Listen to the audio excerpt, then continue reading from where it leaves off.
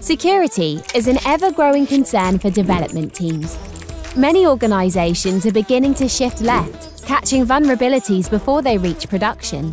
But security shouldn't make life difficult for developers. That's why we built Dastardly, a free containerized DAST web application scanner for your CI/CD pipeline from Burp Suite. You may not have heard of Burp Suite, but your pen testers will have. It's the world's leading toolkit for web security testing, used by over 16,000 organizations worldwide. And Dastardly is based on the exact same groundbreaking Burp scanner. It looks at your application from the outside in, just like an attacker. As a result, it's far less prone to producing false positives, giving it the sort of accuracy that most static analysis tools can only dream of. It's completely platform and language agnostic. You can run it anywhere you run a Docker container, including CI CD platforms such as GitHub, TeamCity, and Jenkins. Every time you deploy a web application, Dastardly scans for seven key web security vulnerabilities. And best of all, it's completely free. No account, login, or payment details needed.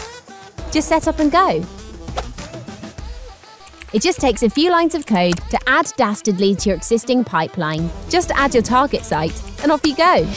Once Dastardly has been added as a stage in your workflow, it'll begin working its scanning magic.